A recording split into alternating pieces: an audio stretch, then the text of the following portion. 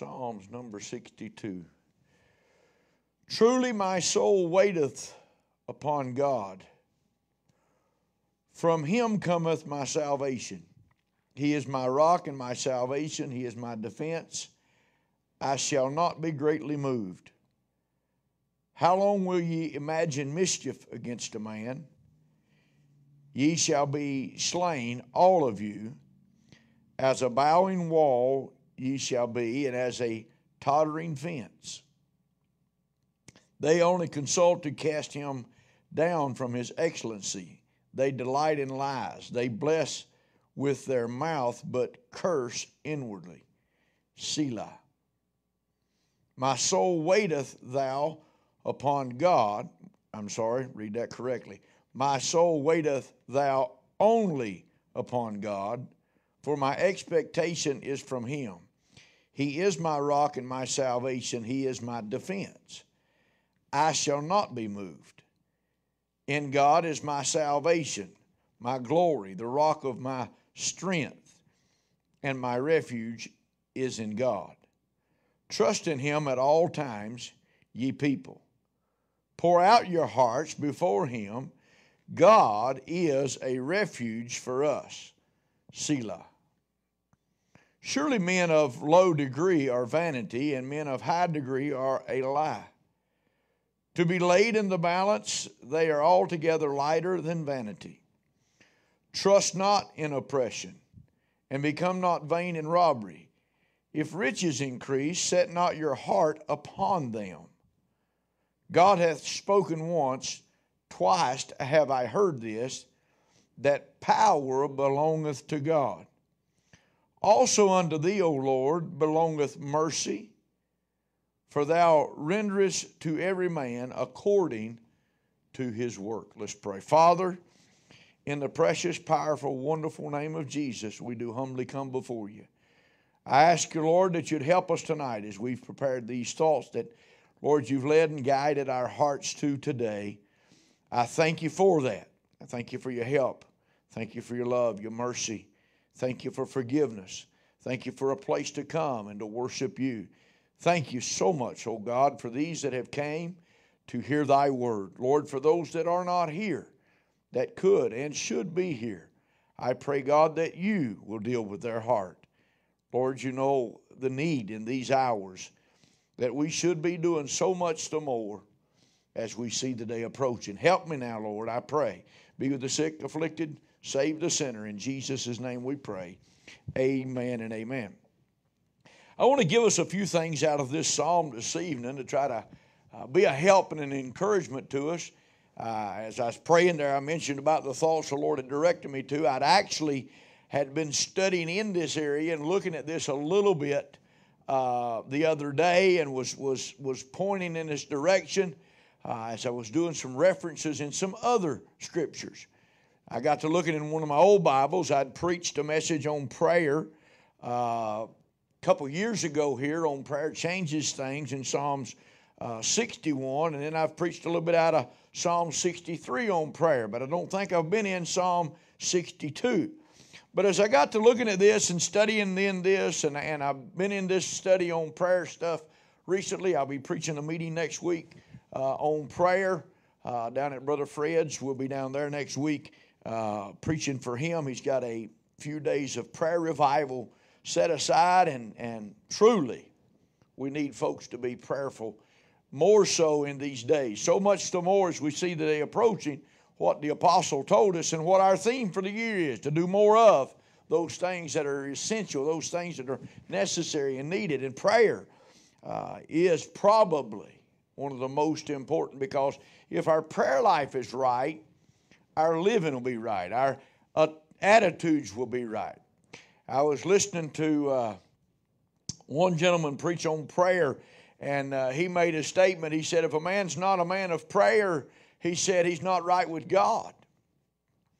And he said, You look at folks and see, and I believe it, Brother Roloff said, when you look at folks and you see their countenance and they're all sad and, and all, he said, I can tell whether a man's a man of prayer or not. He said, by their countenance.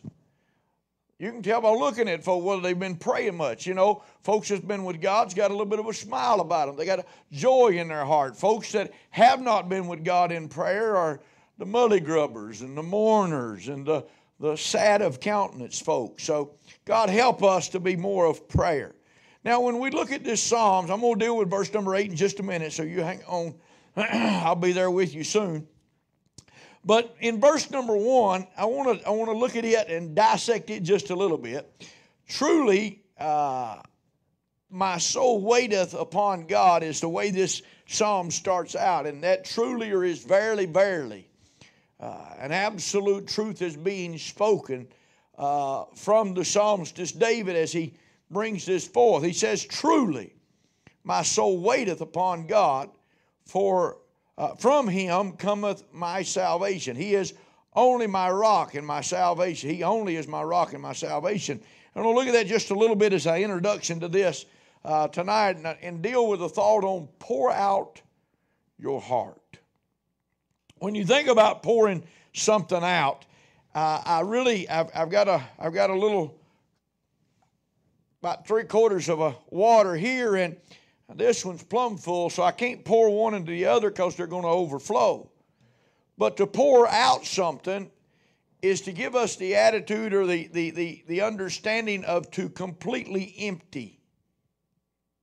If I go to pour out something, is you know, as you do at the household when you've got some stuff there that that's waste that needs to be gotten rid of, uh, you'd say to the children, say, "Hey, go pour that out."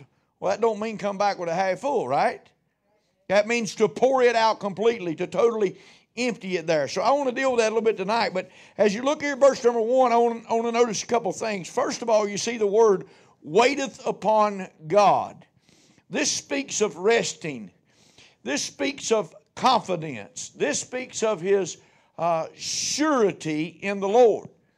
So you see the word resting means means someone that has got comfort, someone that is able to uh, lay down and, and not fret and worry over the things uh, that are there. Uh, resting to, to, to, here's one that waiteth with confidence. He's got confidence in the Lord. He's able to, he's able to wait. He's waiting on God to move there. And then you see the resources there. You see that his resource is God. He's the contributor. He's the one that's going to give or, or take care of the things that are needed in this passage. He's hence the supplier. But then also he says in verse number two, he said, He only is my rock. Now we could go for a while and talk about the matter of the rock, but I'll give you a couple of things there to look at. The rock, in one sense, speaks of a concealment, speaks of a shelter. Uh, David often in the Psalms talks about how the Lord is his shelter. Psalm chapter 91 or division 91 of the Psalms, you, you see where he talks about him being under the shelter of the Almighty. He speaks of our Lord. And, and under, under that rock, under that shelter, means to be covered and secure. So he talks about his security there. He, he talks about uh, how that the Lord is, is not just his concealment, but he's, he's, he's one in speaking of this rock, it speaks of a, a combat. When I thought about the rock, I got to th- thinking about the Lord and the rock, and I got to thinking about how that he, he through the years and through the, the, the many times of David's life, how that rock stood out. In, in Psalm 91, he's speaking of him as a, as a shelter, as a cover, one that's concealing him from the enemy. Uh, but when you read in, in, in Samuel, you'll see where David uses a rock in combat. So he is the one that gives him strength. He's the one that is his sword, as it was with him and Goliath. So you see many different um, applications with the rock. You can look at it in many different ways. Uh, so you see it as a concealment, you see it as in combat, you see it as a cornerstone.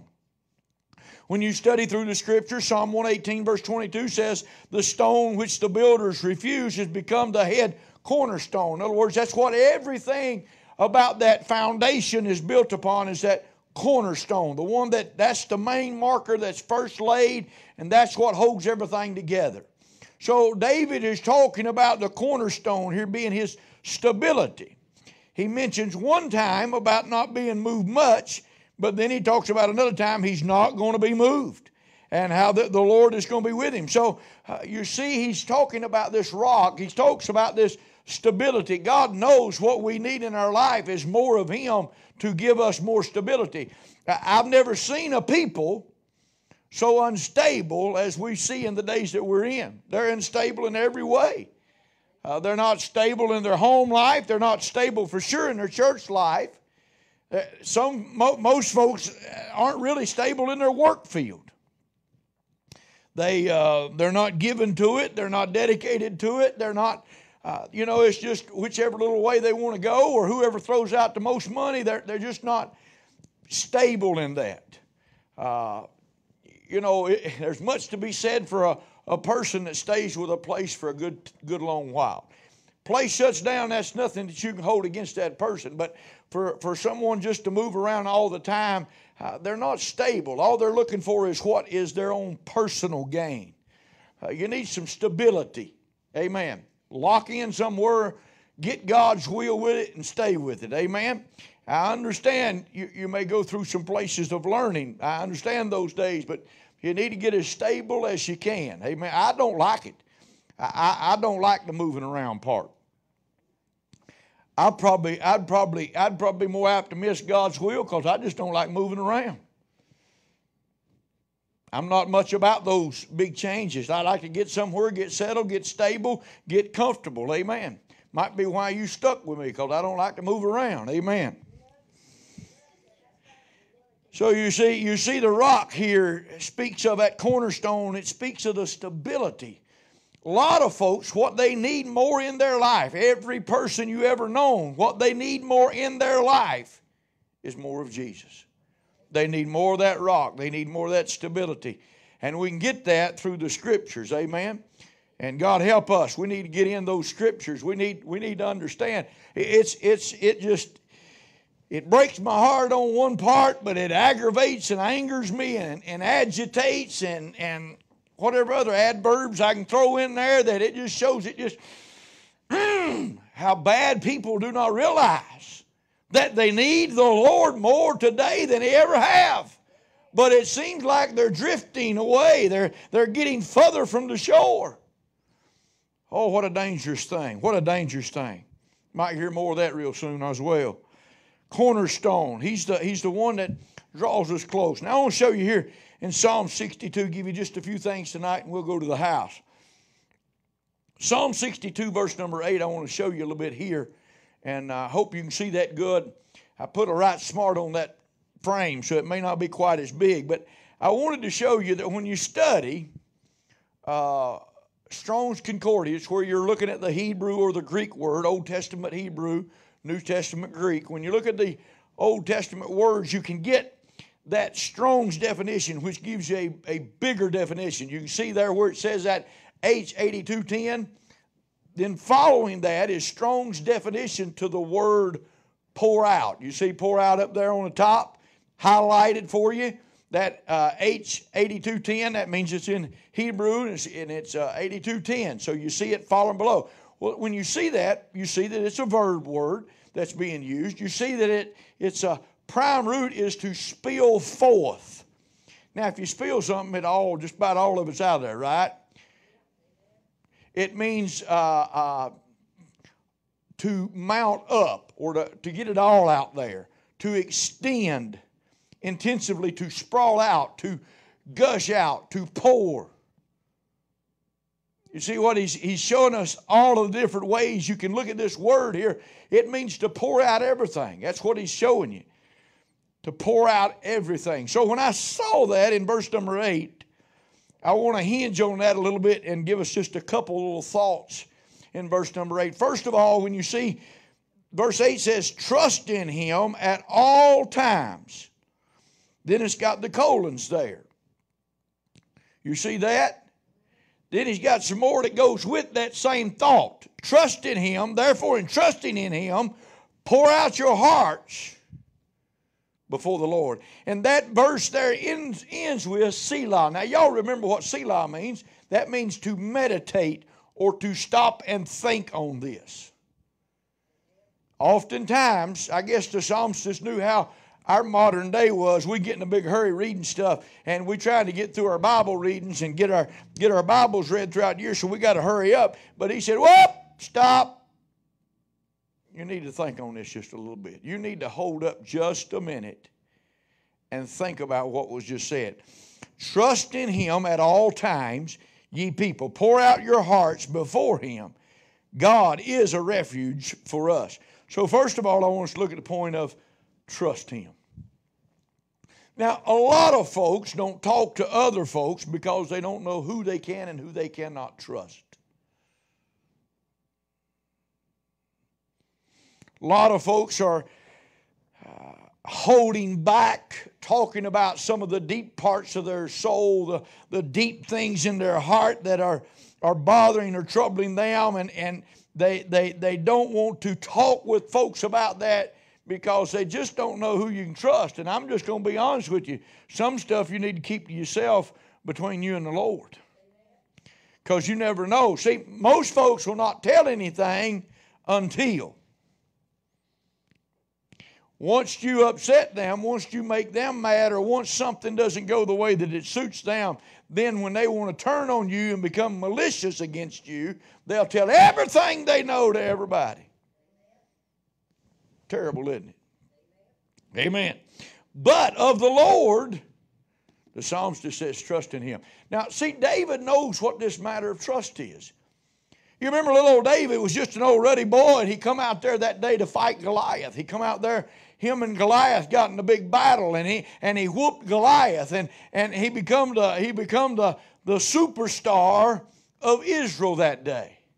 Everybody thought, wow, you know, they begin to sing songs about him. Uh, Saul has slain his thousands and David his ten thousands. Well, I don't know if he'd slain 10,000 folks as of yet, but he'd slain a bunch. But he got that main one, you know, that was the big one. That, that one that he got, that one Goliath that he was willing to fight, nobody else was.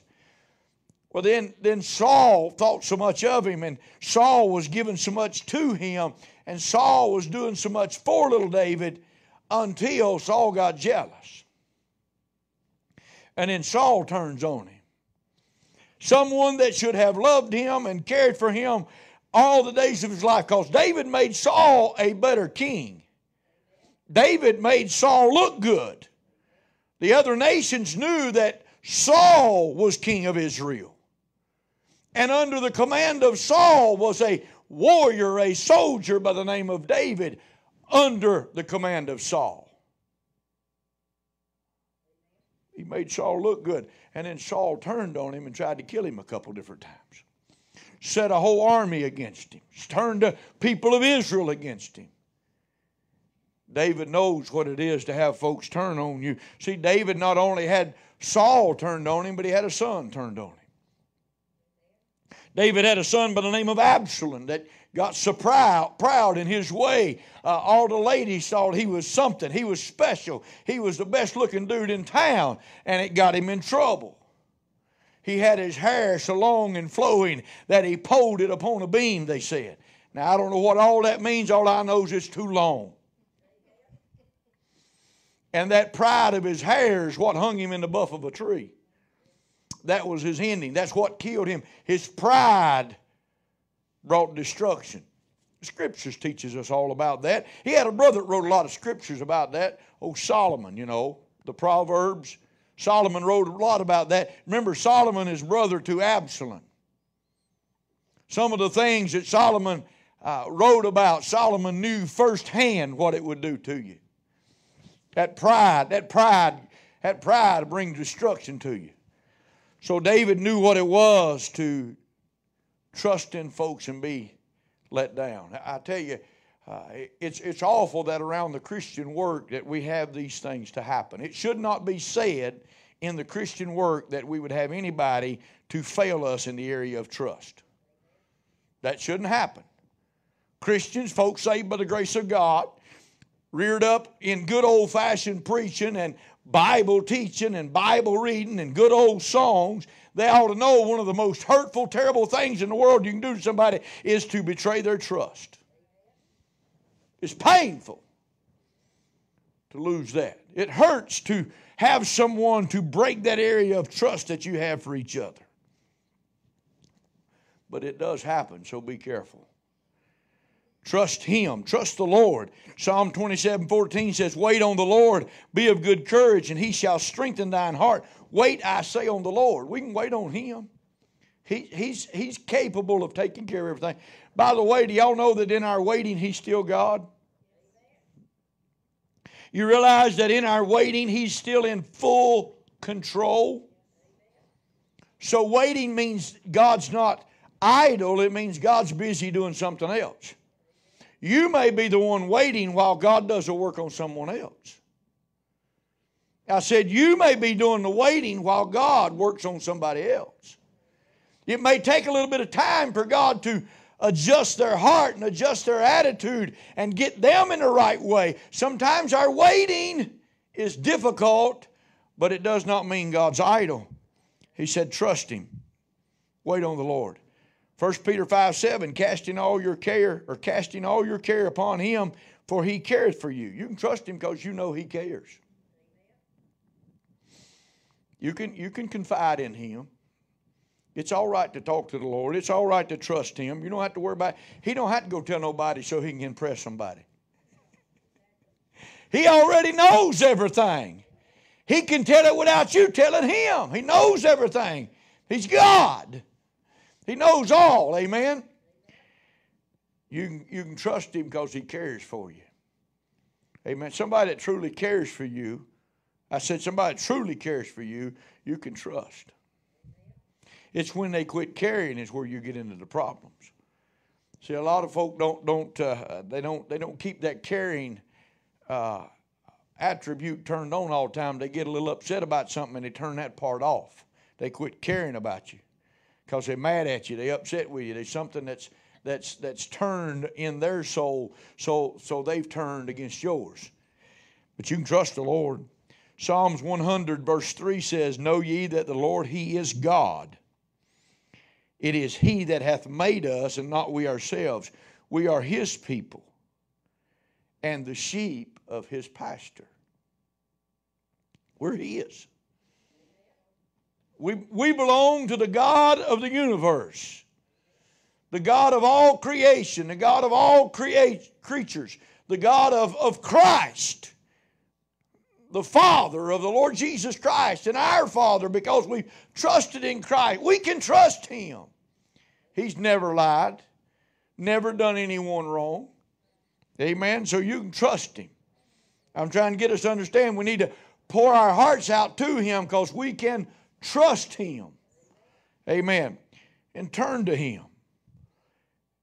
When he, when he talks about Him, he says, trust in Him. Who's the Him? He's talking about God. That, that's the one we need to turn to. Oftentimes, when problems comes and, and our hearts are heavy and, and we just feel like we've got to unload it, sometimes we'll turn to the wrong folks. We've got to be careful in turning to the wrong folks because some of the wrong folks will tell everything. If you go read the story of Samson, you'll find some uh, good stuff about this right here. See, he told some folks some things to see how they responded, to see how they reacted. You remember when he laid in the lap of Delilah, and, and bless his heart, he should have learned, he should have knew from his own experience. He told her, she said, Oh, Samson, I just love you so much. Uh, tell me your secret. And he told her a wrong thing. Well, then she takes and uses that against him. That should have been enough for him to pack his bags up and go back to the house. Amen. She betrayed him. And he should, well, he thought he had everything under control. And, and she's such a good looking woman. And, and, and it messed him up. Y'all young boys listening to me, you got to be careful of them good looking women. Amen. They'll get you messed up. They'll drive you, they'll drive you in troubles. Amen. Amen. You got to be careful of them young, pretty women. Amen. Amen. You gotta, you gotta. Samson give us some things there to to learn about. Samson give us some things to learn about. You got to be careful who you tell all your secrets to. Now, you can find folks to trust. Right. I've got one in the building that knows about everything I could ever remember about me. She knows. There ain't no secrets between us. I'm that kind of guy. I just I'm and I've told other folks things that I you know it's come back to bite me in a certain way, but I've told other folks things that that you know uh, they used it to try to use against me. You know you can't trust everybody, but you know I trust her. I wouldn't have married her if I couldn't trust her. Amen. Amen. I wouldn't still be married if I couldn't trust. Right. There'd be troubles there. Amen. Amen. But you can turn to Him because you can trust the Lord. Simon says in uh, John chapter 6, verse 68, the Lord turns to him as, as in verse 66, there was a whole pile that went away. I believe it was 70 disciples that had turned away from the Lord there that day. And the Lord turns to the others and he says, Hey guys, will you go away also? And Simon says, Lord, to whom shall we go? Thou hast the words of eternal life. You know, if you're going to turn to somebody, my question is that is, who you going to turn to that's better than turning to Christ? Who you going to turn to that's better to turn to than the Lord himself? He's the one that we need that, that avenue of prayer always open. He's the one that we need to be talking to. He's the one we need to be pouring it out to. It's safe. It's secure with him. So you ought to talk to him. You ought to turn to him. Amen. A lot of folks in these days and things that's going on, they need to learn to turn to the Lord. They'll tell their buddies, they'll tell Facebook, they'll tell everybody else, but they fail to take time to turn to the Lord. You know, I like I like resources that can help me.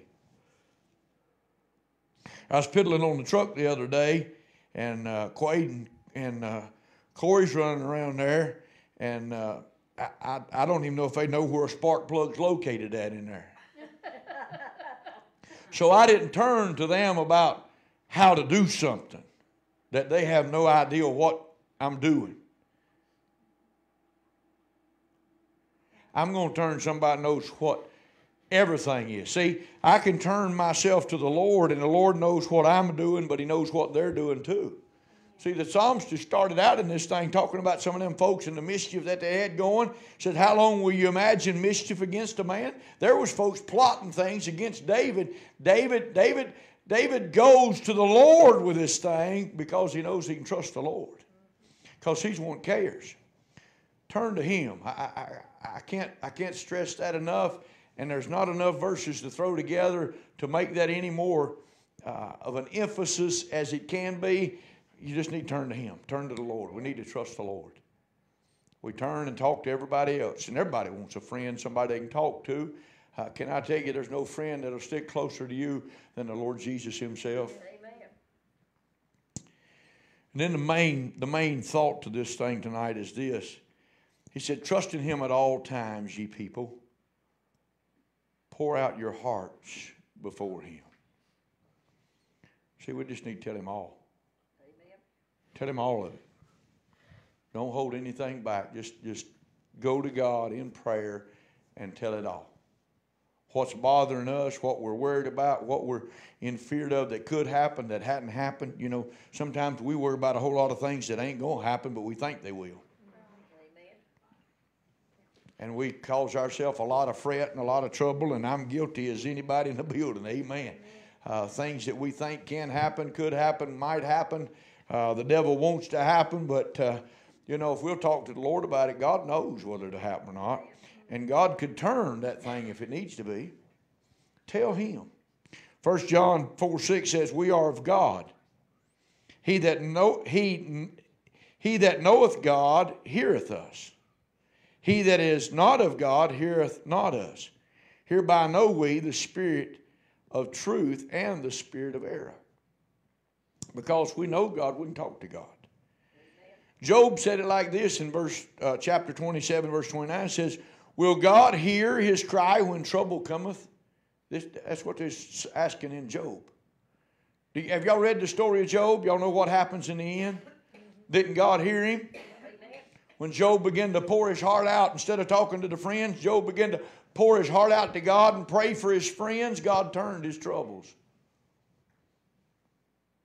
See, what we need to do is not talk to all the friends about it. We need to talk to the Lord about it. I don't care whether you talk to your friends or not, but the first one you need to talk to is God. Amen. He ought to get it before anybody else gets it. Amen. Daniel 9 17 says, Now therefore, O our God, hear the prayer of thy servant and his supplications, and cause thy face to shine upon thy sanctuary that is desolate for the Lord's sake. See, we need to tell the Lord all about it. I was in here walking around telling the Lord all about it a little earlier. And that some folk might want to be a little bit concerned because these folks that should be in some of these seats that I was telling the Lord about it earlier. Breaks my heart, hurts me, Amen. worries me.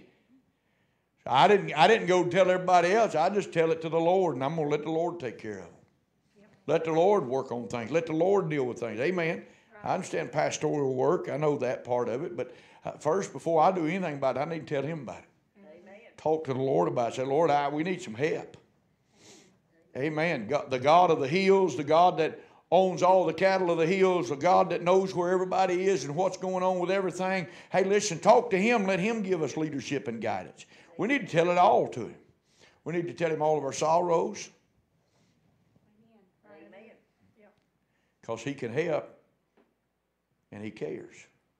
Remember, Psalm 73 has that famous verse in there that's been used by many through the years. Dr. Seitler probably penned it the best and uh, preached it the best was God can. God can furnish a table in the wilderness. And since God can furnish a table in the wilderness, what we got to worry about? Amen. Since God can rain down manna from heaven and bring in the quail by the blow of the wind, smite a rock and give forth water in a dry and a barren place, amen. Since God can do that, why don't we just tell God about our problems? Why don't we just give God all of our sorrows? Bear our heart, pour it all out before the Lord. We've got away from that in the days that we live. We've got a one, two, three prayer, and I'm not talking about just salvation stuff. Uh, uh, Christians has got as bad in their prayer time with God as a sinner is, and, and, and what's told in his sa- salvational prayer. It's simple to get in, but there's a lot more need to be said once we get in. Amen. We need to we need to pour out our sorrows before the Lord and, and let God know what's bothering us, what's breaking us, what's bearing down on us, what's got us burdened to the point we can't go and smile. Amen. We need to pour out our sorrows and our sadness before the Lord. We need to pour out our situations before the Lord. God knows the complexness of our situations.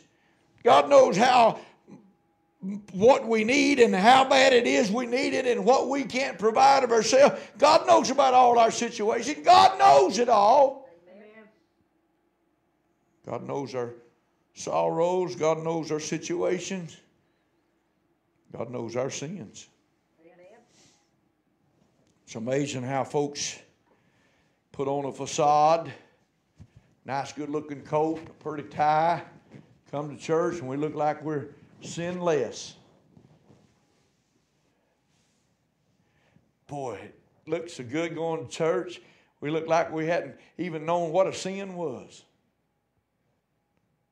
But yet, we all have things in our hearts that we need to deal with before the Lord Amen. confessing our sins before Him because He's faithful and just to forgive them. Hey, and cleanse us. That means we can get clean before the Lord, where we can come to the Lord. A lot of folk won't confess their sins. Man, I could stand here tonight and go through a whole list of sins. I mean, there's, there's so many different sins. We could start on the Ten Commandments, and that would be a good place to start to have no other gods before Him. Nothing should come before God. Amen. God ought to always have first place in our life. Amen. Not to not to love any other gods, but to put him first and foremost in our life. So many people today has put other things in, in place of where God should be. The sports world making her silver. Amen. All these other kind of things that comes before us and the Lord, that, that's sinful stuff. Amen. Our sorriness or slackfulness or slothfulness, the lack of doing what we know we should be and can be doing for the glory of God, Amen. You know, just because folks aren't accepting Christ as their Savior doesn't mean we're not supposed to still present the gospel to them. Amen. Our, our slothfulness in, in, in, in the things of God, not just church attendance. Man, we've got so bad with that one. And nobody, nobody, nobody comes and confesses, Lord, I'm sorry. I just flat laid out of church. Forgive me, Lord. Because we don't view that as a sin anymore. You know, if I can come, I can come. Good, that's fine. That, well, but if I can't come, then so be it. That ain't no big deal, you know. I mean, it's my time. No, it ain't. It's God's time. Amen. Amen. God's, God's the one that calls the assembly of the brethren together. Hey, and we're supposed to be doing so much the more as we see the day approaching. Amen. And now you can't hardly get folks to come Sunday night and Wednesday night. Amen. It- it's wrong. It bothers. It's a sin to miss God's house when we can be there. And folks today don't want to find a place of prayer and confess and pour out their heart to God because God's going to deal with that thing. And they know they gotta they gotta confess. I, I sinned, I, I failed, I come short. God help us to care enough to confess. We need to tell it to Him. God knows about our sorrows. God knows about our sadness. God knows about our situations. God knows about our sins. And we should bring to Him our salutations, our, our praises, and our worship. Why? God knows I love Him. You know, that sounds like a man to his wife, don't it? Why? She knows I love her. I don't have to tell her that all the time. You're an idiot. If that's what a man thinks, he's an idiot. Amen. He ought to tell his wife he loves her. Let her, let her know that he loves her. Amen. One fellow said, Well, I told her that when I got married to her. If it changes, I'll tell her it's different. You know, that's probably one of the best set of words a man can use to his wife. I love you. Amen. Reminds, reminds the freshness of his heart to her heart. What about the Lord? Every once in a while, we ought to tell him we love him. I, I picked up my old Bible uh, this morning, I guess it was, and was, was looking at it and reading it, and I, I, I love this one. But that old one, I, I, I done a lot of valley walking with it. I done a lot of trouble walking with it, and God spoke to me much out of it. And it's just so precious to me. And uh, you can think whatever you want to. I don't care. I just want the Lord to know I love Him. Well, that don't do nothing for you, but that's all right. It does something for me. I, I can't walk up to Jesus in the flesh today and kiss his hands and kiss his feet, but I can kiss his word. Amen. And the word became flesh and dwelt among us. Amen. See, we, we've got so we've got so superficial with some of this other stuff. We, we, we too we too scared to be sensual anymore with God. Men can't let our reputation of toughness be uh, bothered. I mean, we've got to let everybody know we tough. We tough. Well, it's because you said you love the, uh, the Lord or you love your wife. That don't mean you ain't tough no more, does it? I mean, God Himself said He loved us. Amen. Ain't nobody tougher. Amen. Amen. Ain't nobody else been able to go out in the wilderness 40 days and 40 nights without food and water and uh, come out of that and fight the devil and whip him. Amen. Yet he lets us know he loves us. Amen. He'll tell us he loves us. Amen. Amen. Amen. Ain't nobody no tougher than he is. Take nails in his hands and nails in his feet, and the flesh been ripped slap off his body, crowned with a mockery of crowns of thorns in his head, and yet he says, Father, forgive them. Amen. What he's saying is, I love them. See, he loves it. wasn't it wasn't them nails hung him to the cross. It was his love for sinners is what held him to that cross.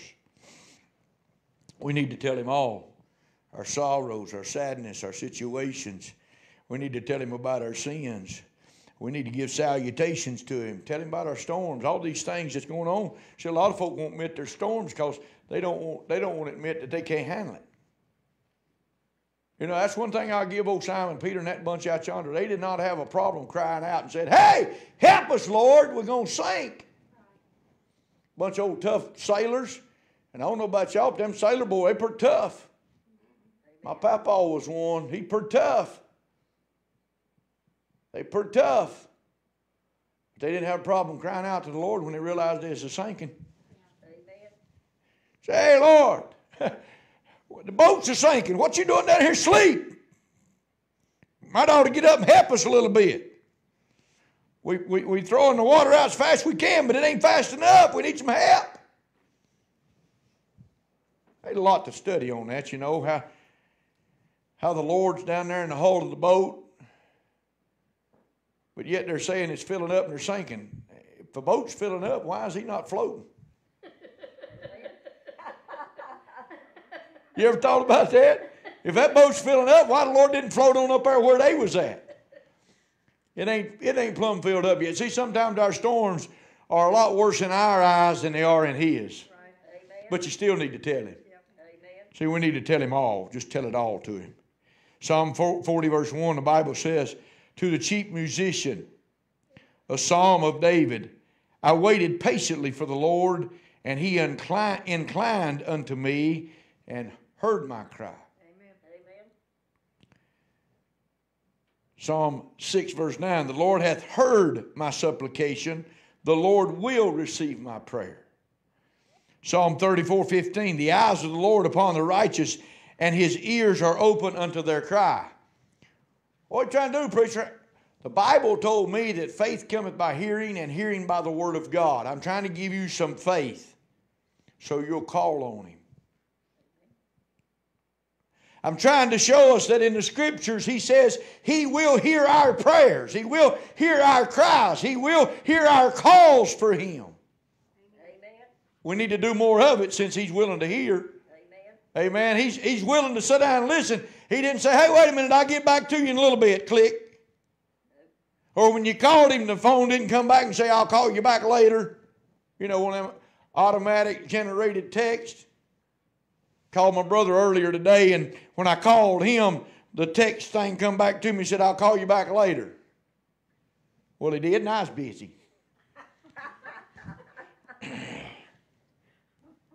you don't have that when you call on God.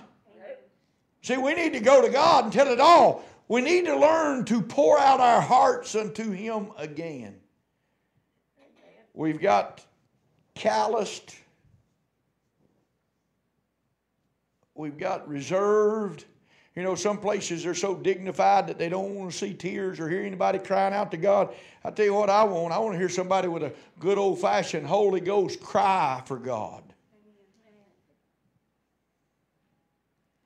You know, I, I believe. I believe that the Lord, the Lord,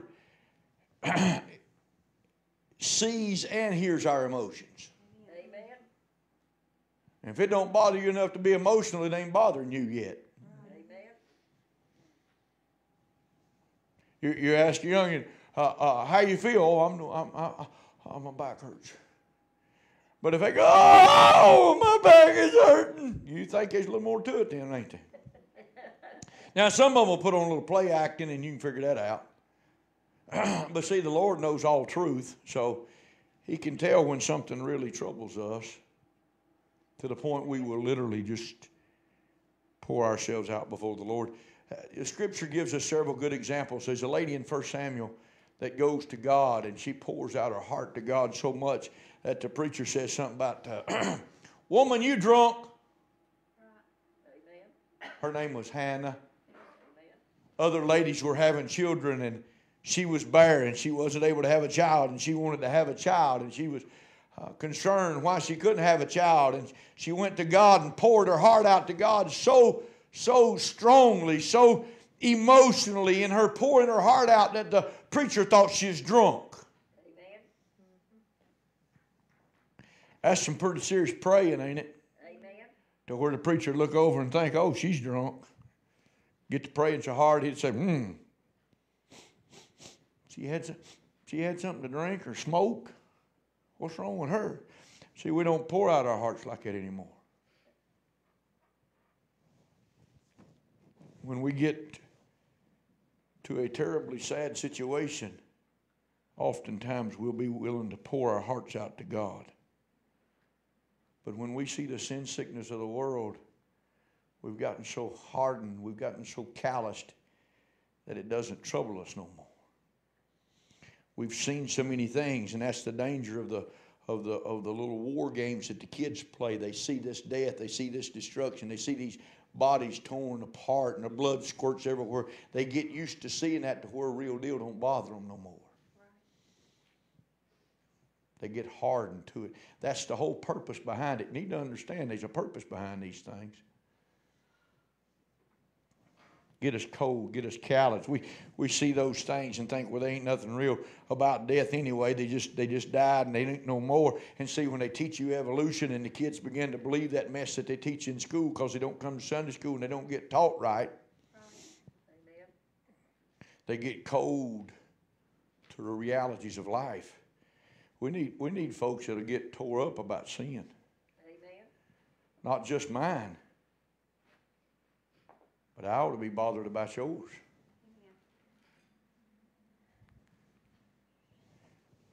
We get an eye of what's going on in our nation.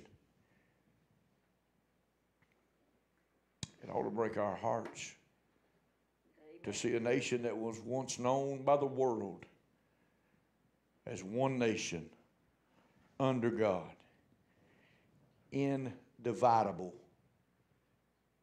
You tell what that means? Indivisible? Don't that mean undividable? It means they can't get us divided. What they done? They've divided us. Because we're not one nation under God. We've got many little gods across the land that's taken up and taken control of people's minds and their lives. And some people so cold and callous that things don't bother anymore. Can I can I beg on you tonight to begin to help us pray that people's sorrows, people's sadness, people's situation, people's sin, not just ours, but people's sin should bother us. You know, I have in the old Bible that I was talking about earlier, I have in the back of it, uh, they was the Dunn brothers had put together a, a prayer for revival, and, and, and I can turn to it there. And one of the things that it says in that is to pray that God would break our hearts.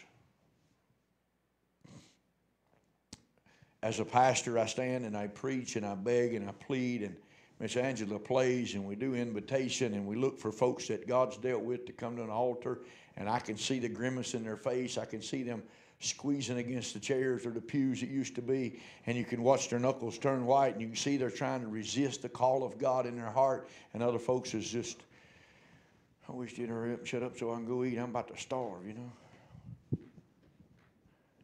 We got to get our Bibles up. We got to get our books put away. We got to get our coats on. We got to make sure we're ready to leave while somebody in the midst is going to walk out the door and it could be the last time. Amen. They may never come back under the hearing of old fashioned Bible preaching. I don't have a lick of confidence in my preaching, but I got a lot of confidence in that word. A lot. I'm a firm believer in that word. I believe that that word is what pierces the heart. I believe the Holy Ghost of God, with the with the Word of God, works into the heart of those people that are lost and undone, and that's what does a work in their heart. That's what does a drawing. But I also know that the praying of God's people will touch people's heart too. See, if we are concerned enough about them, then we get in an old-fashioned altar and pray for them.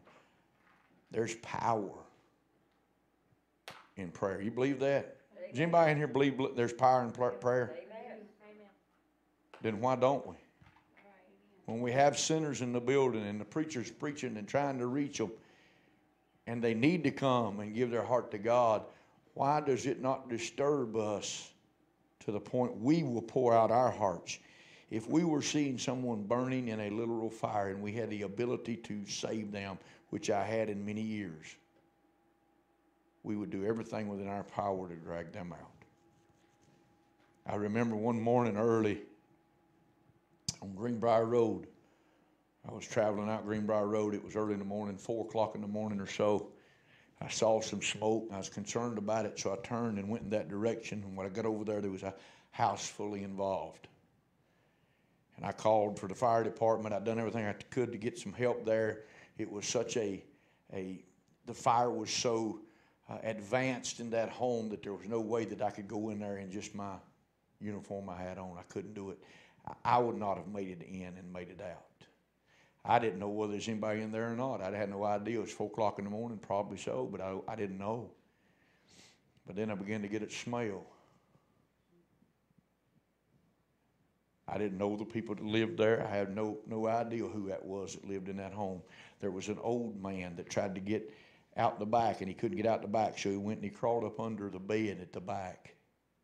And he thought that maybe he could find some safety and security there because they tell you to go low in the fire. And he crawled up under that bed, and he did not know that the house was going to do as it did and consume him while he was under that bed. I didn't know that guy, but it broke my heart. Because I got to thinking about here's a here's an 80 some year old man that's crawled up under a bed. He's nearly 90, and uh, he crawled up on that bed for safety, but he didn't get out. He, he couldn't get out there. And there was another man in the home that was able to get out the other doors, but I got to thinking about the pain and the suffering that that gentleman had to go through in his death. I hope his heart failed him fast so that he would not have to feel any of that pain. But I, I sit there and I watched him work it and I thought about that and I said, man, if I'd have come through here just a little bit earlier,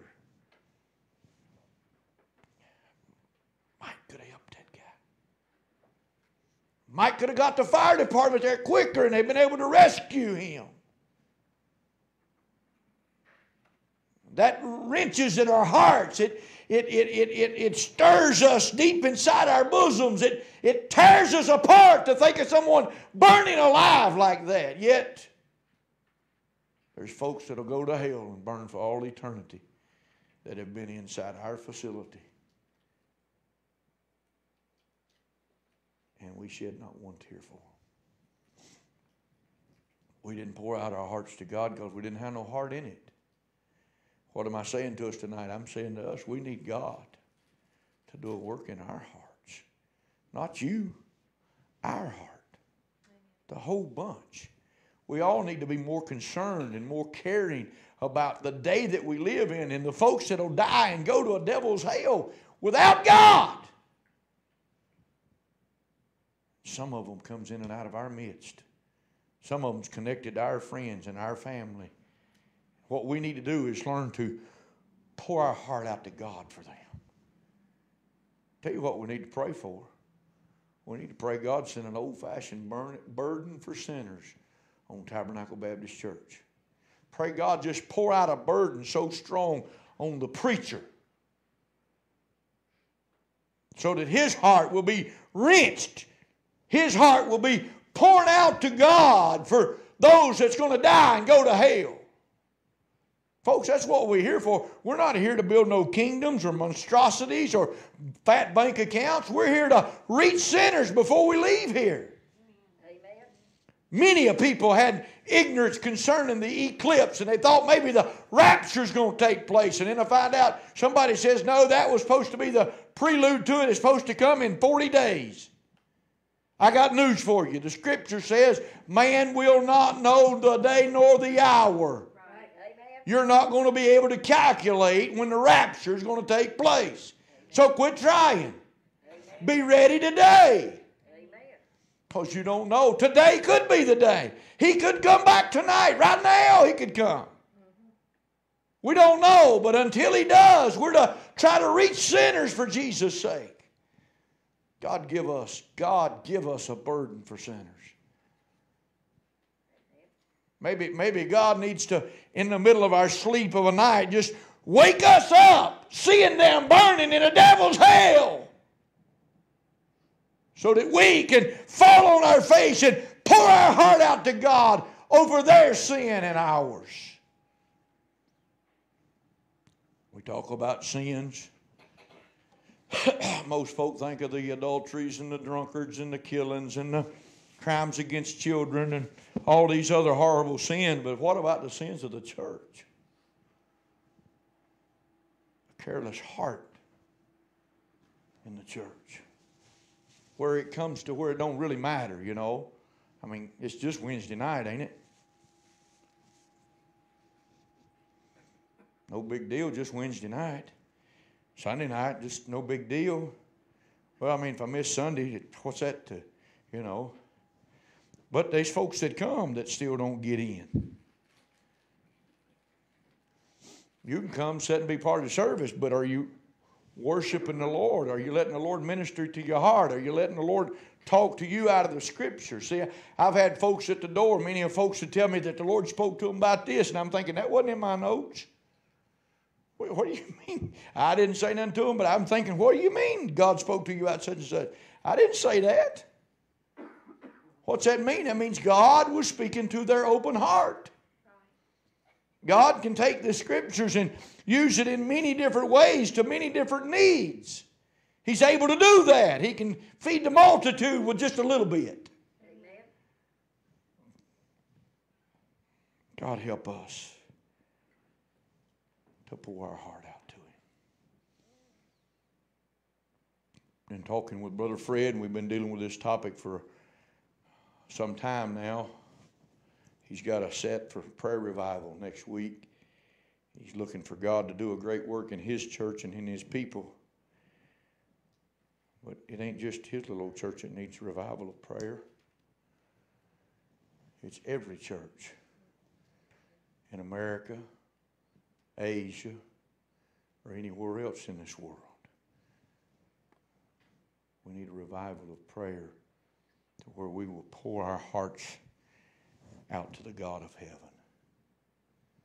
We need, we need prayer where folks would get so burdened and they'll get down before God. They can't say much, but God knows the heart. Some of the best praying, as far as effective praying that I've ever done, I couldn't get the words out. That's where he talks about how that the Holy Ghost can make utterance for us. We may not know exactly how to say or what to say, but pouring our heart out before the Lord, He knows. You know, if you pour it all out there, it, it, it's hard to dis- discern one little old thing. It's all poured out. But see, God's able to discern everything about it. May God help us to pour our hearts out before Him, not everybody else. And it's safe to do that, children. You need to find you a place where you can get whenever to where you can pour your heart out to the God of heaven, whether it's uh, I had a I had a preacher friend that used to uh, get out in the morning. He'd go get his coffee and his and his biscuit, and he'd pull up to a certain place he had there, and he'd sit there and he'd read his Bible, he'd eat his eat his eat his uh, biscuit and drink his coffee, and there he'd spend his time talking to the Lord and letting the Lord talk back to him through the Scriptures. We're getting so far from those days. You know, the sad thing is, God's got a way of laying you down to where you'll pour out your heart. I've had a couple of episodes through the years in my life to where I couldn't go and do. 2014, I blowed out those two discs, finally quit on me, and uh, I couldn't get up, I couldn't go, I couldn't do anything. It was a time where the Lord laid me down.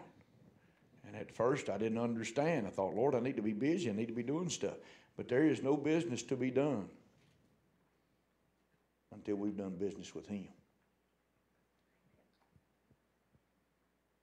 If David had walked off of that mountainside down into that valley and had not been communing and, and, and, and conversing with God, he wouldn't, he wouldn't have known much about what to do when he got down there in the bottom of that valley. But he'd done been with God. He'd done been in some battles. He'd done seen some victories. And when God stirred his heart to defend Israel, because see, it wasn't all about King Saul's name. It wasn't all about Israel's name. David said to him, said, He's defied our God. That's what we need to we need to understand. This thing that's going on about us, it's about God. For His sake, we need to do things. There's sinners that need to be. You realize there's sinners that'll go to hell that Jesus Christ paid a sinful, uh, paid paid their sinful life and paid a painful death for them so they could go to heaven, but they don't know the answers to it. They're not saved. They've not accepted Christ and what He's done. They've not. They don't understand things. They need some of us to explain to them. Tell them a little bit about Jesus. Amen. He can save old wretched sinners. He can, he can save youngins. I, I've, I've heard of them very young being saved. Brother Jeremy, I think, was five years old when the Lord saved him. And uh, God's used him greatly in his life. What a, what a blessing. That's the best thing to do is get them, get them under the hearing of God's word young. And we've got, we got some youngins around connected to the church that, that needs to hear and accept Christ as their Savior. Amen. God help us that their image be burnt in our hearts, that we can find a place to pour our heart out before the Lord and watch them get born again. Amen. Let's pour our hearts out to God. Father, in Jesus' name, we come before you tonight. Thank you for the time together. Thank you for these that are able to gather with us. And I pray that, Lord, you touch each heart and help us. Lord, I, I, I meant what we said during our preaching. You know that I mean it, Lord. We need the burden for our church. We need the burden for those that are lost. And I pray that, God, you'll help us to have that burden. Lord, that we might do more in these days. Lord, not just what we used to do or what we've had done, but Lord, let us do more. Give us the strength. God, we need the healing hand of you upon us. Most of our folks has been through some sicknesses that's taken away some of our strength, and we need you to touch us and give us that strength. We need you to give us that help that we be able to go forth and do what your will is in our life. I pray, Lord, you'll help our church meet the needs of it. Take these thoughts tonight, I pray, for Jesus' sake. For sinners' sake, we do humbly ask. In Christ's name we pray. Amen and amen. All right, we'll take a few prayer requests and uh, have those for our prayer time. Um, as, as normal, continue to pray for Miss Darlene and Brother Robert. Continue to pray uh, for Miss Nikki and uh, her needs, and the uh, the lady that we had been going around at Alexander that was being prayed for. The, the lady passed on. So pray for the family uh, of that one uh, that everybody was lifting up and went to. Angelica. Uh, Angelica, yeah, she went to uh, Nashville or that hospital out there, and they was trying to help, but uh, Lord saw fit to take her home. So pray for the family and His grace for them. So lift that up. Um, pray about the meeting next week. Please pray that God would help me as I preach uh, next week uh, for Brother Fred, and uh, he'll have a, a, prayer revival starting Sunday, and he'll go through Wednesday. I'll be doing a closing message on Wednesday, so uh, much prayer, much prayer needed for that, and uh, pray the Lord to help me know exactly what He wants for that be a blessing and a help to their congregation.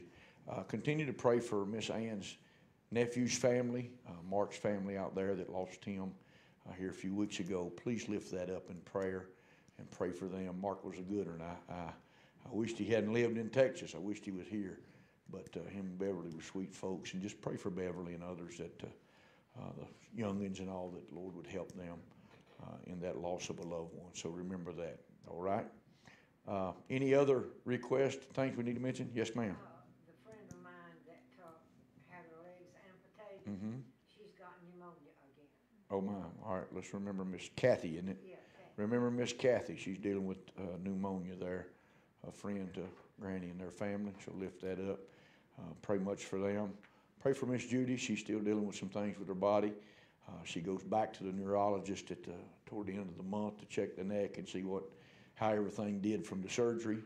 Uh, Brittany's had some tests run so far. Those have come back, give them a little bit of wisdom on what needs to be done uh, to help her with her body. But then uh, she'll do a follow up with the neuro doctor to see what they're going to do about uh, the spinal leaks, which is probably there again. So that's probably, uh, I feel sure they're going to be doing that surgery again for her real soon.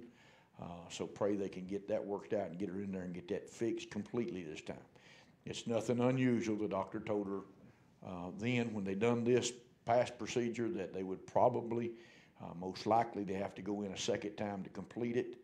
Um, so you know, just pray that they can get that fixed for her and uh, be able to get her back to where she can do again. She's out of work again, so uh, continue to pray for her and the family in that. All right. Anything else, Brother Clarence? Betty, Betty's having some tests done, she just wants to pray that everything comes back good.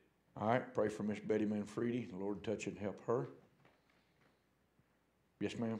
Got a couple, um, Peggy's, uh, daughter Pam is getting her, job jerked out from under her by the end of the month.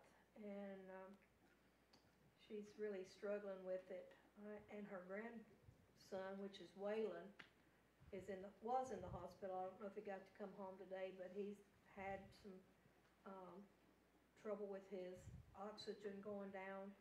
Um, they was actually going to intubate him, um, two days ago, but, uh, Hmm. it came back up, so remember Waylon, and remember Pam, as she tries to, to find a job, um, she's looking at one, but it's gonna be down in, um, Lincolnton, and she lives here in Statesville, so, um, it's gonna be very hard on her, but just help her. Our commute, yes, ma'am. She just signed a new lease on her trailer, I mean, on the, the apartment she's got, so, you know, she's really struggling. And Michael just had surgery yesterday and today on the, the skin cancer that Mm-hmm. showed up on Right. him. Um, uh, he has to be on light duty for the next month because of the one on his shoulder and his arm.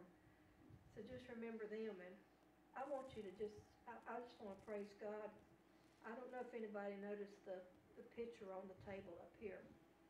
I bought that today at Hobby Lobby. When I saw it, it's a picture and it's got a hole in it. And, uh, coming down the road, I got to thinking, there's a broken vessel, but it's, it's, it's been used. Mm-hmm. And I just, me and the Lord really had a good little time from Lobby Hobby here to the church when I came in here. But, you know, I know how it is to be broken. Mm-hmm. I know that God's trying to use me, and I'm trying to get me out of the way so He will use me. Amen. And like I say, the service we had yesterday at Beulah, it was such a, it was such a heart wrenching service, and I just praise God that He's still in the business. Amen. You know, and I just, I want y'all to pray for me that I will get Sue out of the way. Amen. I want to do something for our church. I want to serve. I want to serve my church. I want to serve God through my church. Amen. So y'all just pray for me. But Amen. that jug, every time I see it, I, I, that's, I hope everybody will get that picture because that's a broken vessel, Mm-hmm. but it can be used. It's beautiful and it can be used. Sometimes it has to be broken so it'll pour out. Amen. But just remember. me. Amen. That's a good thing. Yes, sir. Uh, Roy Leonard says to pray for Nikki's cousin Rachel, Okay. and Miss Tammy says to pray for her mom. Huh? Miss Tammy says to pray for her mom. Yes, ma'am. Yes, sir. We just mentioned her. Miss Darlene. Yes, ma'am. Remember uh, Angie, Derek, and Cade? Um, been rough the last couple of weeks. Um, it's coming up a year on the fifteenth. It's just a lot of struggle emotionally. Um, for other needs as well. Um, they uh, got an offer on the house, so Derek's going to be looking for a place. So need to pray that he finds the right place Amen. and where it needs to be and whether he's gonna rent or buy, he's not sure yet, and just the whole situation. Um, and remember a guy, a, guy at work, good Christian guy, um, one of our agents, Corey.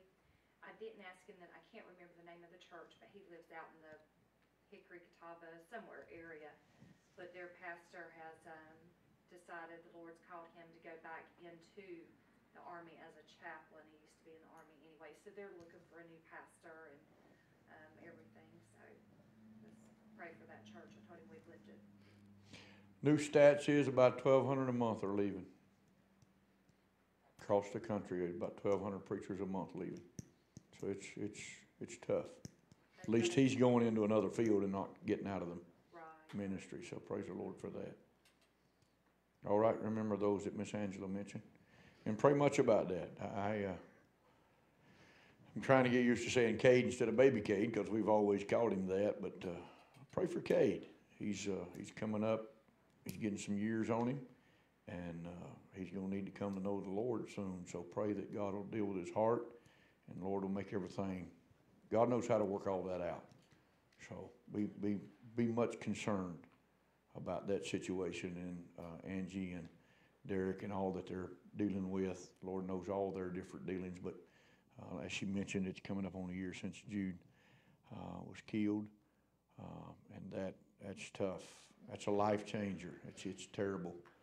Um, so please pray much for that. Uh, I can't I can't imagine the pain there. Um, you know, an accident or a natural death is terrible to deal with, uh, but when there's some fault there, it it makes it it increases the angers. So. Uh, much prayer needed there. All right. Anyone else got a request tonight? Miss. Okay. Spoken, and remember our leaders and Israel and the Jews and the, well, I think you mentioned school kids, all the school kids. And yeah, I'm like Sue. I pray about this stuff, but if I'm not, I ask the Lord to show me what I needed to do to help get folks in. If I'm not praying about it in the right direction, then give me some help to show me.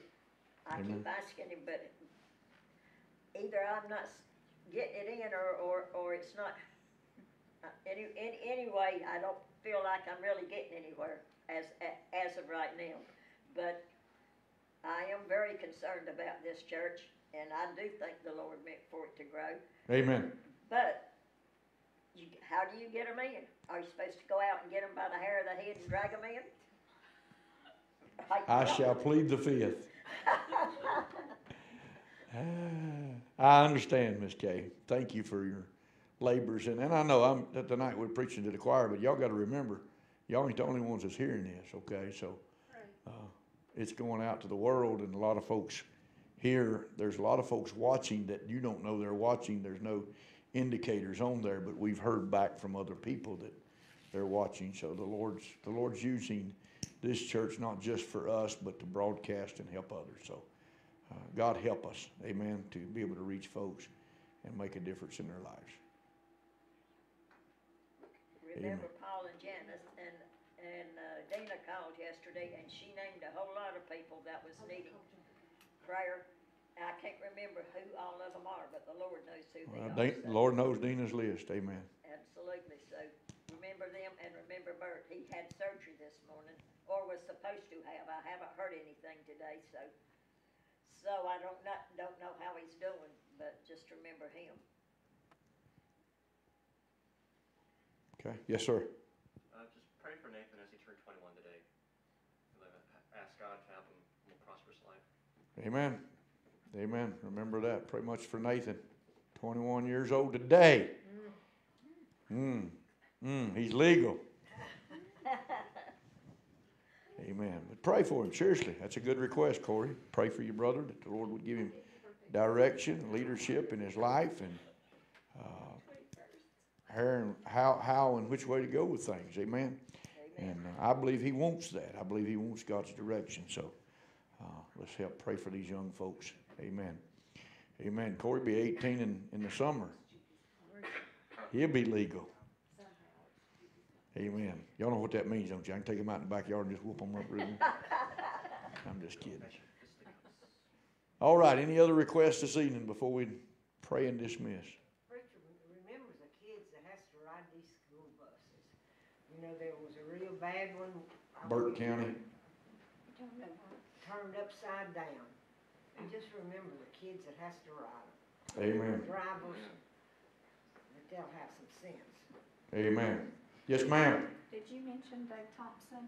I did not. Brother Doug Thompson preaches revival yearly for Harvest over here. Uh, he was in his camper, had just picked up his motorhome, is what it is.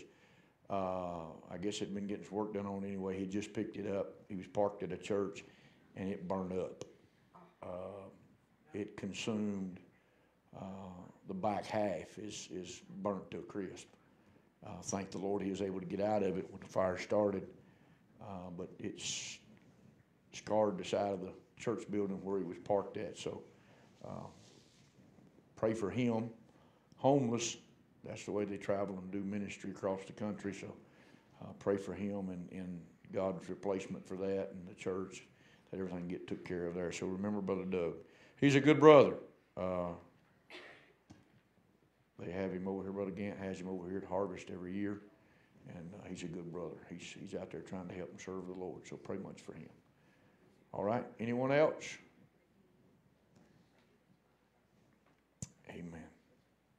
Pray much for our church. God help us to grow. Pray for the Sunday schools, the services, the folks connected. Amen. God would move and help. Uh, I know some work related, some's medical relations to why they're not able to be here. We understand some of those, but uh, there is a lot of folks that could be here that are not. Amen. So just pray the Lord will deal with their heart. It's, it's a hard thing. We can fuss at them all we want to, but uh, it needs to be something in the heart.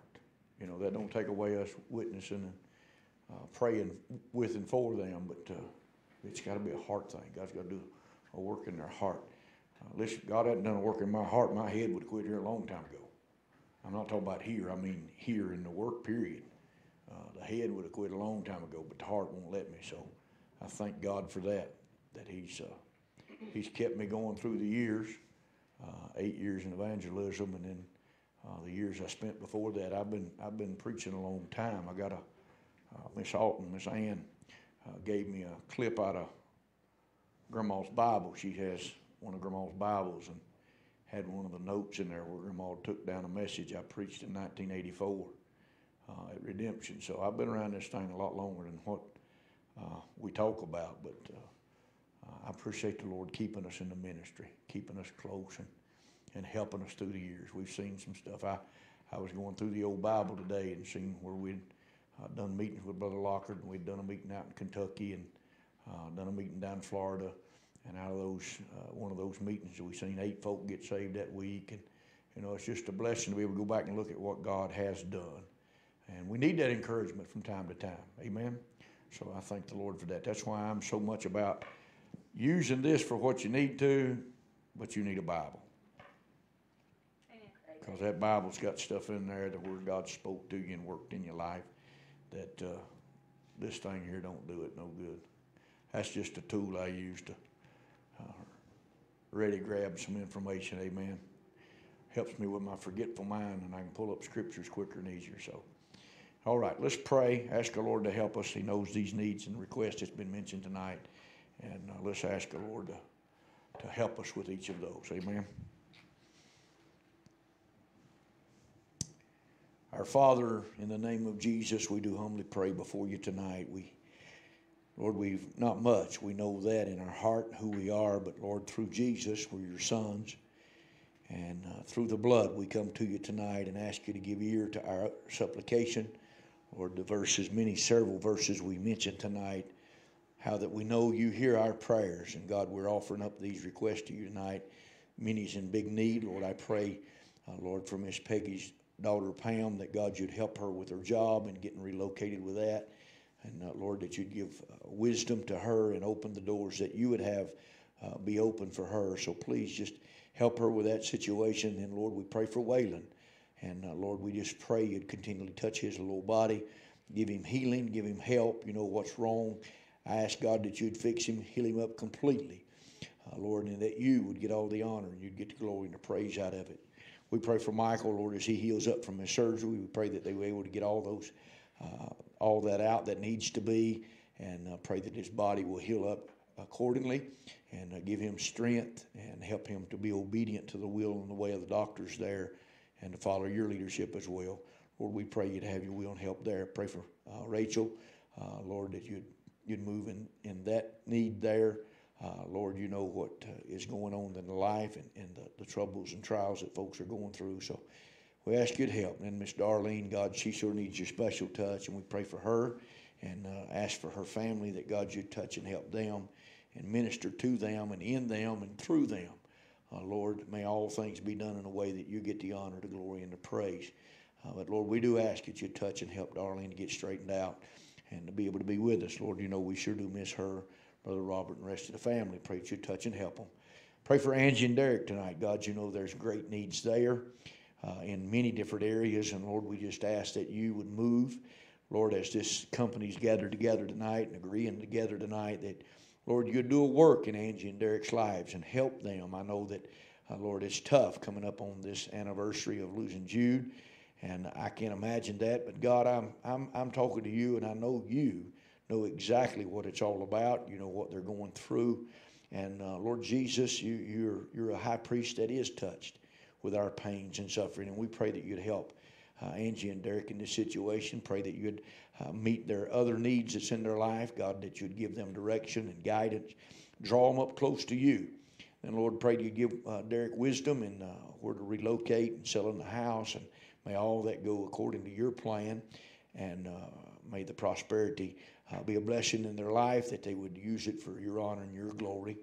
Lord, we pray for Dina. Lord, you know the list that she spoke with Miss Kay about, that God, you'd answer it.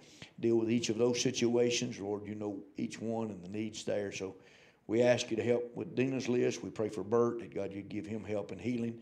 And uh, may everything work right in the way that you'd see fit. And we pray that you'd help there. Pray for our church family. God, you know each one that's here. You know each one that should be here. And I pray that God you'd deal in their hearts. Lord, there's a lot of folks, as Miss Kay mentioned, uh, that we talk to. We try to encourage. We try to work with them to get them in here. But Lord, uh, in all of our talkings and all of our pleadings, uh, it doesn't seem to be working. They don't seem to be heeding. And Father, we just pray that you'd go after them, that God, you'd get a hold of their heart, that God, you would do that work that needs to be done in their heart. I pray for the heart of this church, God, that you'd help us, Lord, to be broken for sinners. I pray, God, we need that in our lives. We need it. I don't want to be cold and calloused. I want to be, uh, Lord, aware that them sinners could die and go to a devil's hell and the pain, the suffering that they'd sur- suffer for all eternity. So please help us to do all that we can, Lord, in, in confessing our sins so that we'll be clean and the Spirit and the power of God would be able to work and labor uh, through and uh, in us. And uh, Lord, just help us to pour out our hearts to you and uh, help this church to come together and to grow. Lord, you laid in my heart, I felt sure it was of you that we'd have the theme this year to do so much to more as we see the day approaching. Uh, Lord, I pray you'd help us to do that, help us to do more. We ask that God, you'd lead us and you'd guide us and you'd direct us in this and give us strength and help. Pray for the other request for Corey, his request for his brother, Lord, that you'd touch Nathan. God, guide his heart, lead him in the things that he needs to do uh, in his future life, Lord, that you'll, you'll help him as he goes forward and uh, bless him and watch him and guard him and keep him safe and keep him close to you. Pray for Corey as well, that you'd use him for your honor and your glory. Touch his talents, Lord, that they'd be used to bring honor and glory to the Lord Jesus Christ, to be a, uh, an edification for the church. So we ask that that you'd help us with that. Be with the other children, the grandchildren, uh, other other children connected with the church, Lord, that needs to be saved. I pray you to help us. My God, please help us that we will be able to reach them. And Lord, that the Spirit of God would have liberty in this place. That, uh, Lord, you'd move and work in the services in an old fashioned, powerful way as you've done in days gone by. We pray for that kind of a revival of our hearts in the church. And uh, Lord, there's many that needs to come to know you, and there's many that needs to get closer to you. So we pray that thy will would be done in all these areas. Help us now. Give us guidance. Lord, help everyone get home safe. And we thank you for each one that's here tonight. Pray that you'd bless them greatly for their uh, willingness and their sacrifice to come and be part of the service. We ask all these things in Christ's precious and powerful name. For Jesus' sake we pray. Amen. Amen. God bless you.